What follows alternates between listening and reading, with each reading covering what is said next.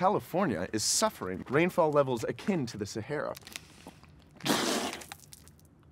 What the fuck is that? It's local. Why didn't you buy Evian? Gross, I don't need that shit.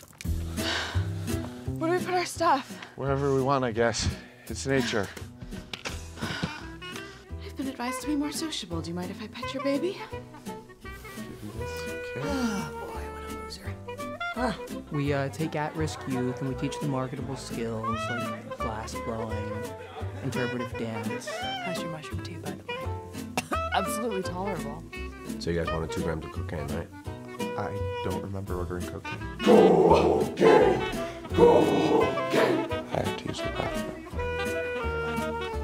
At a party?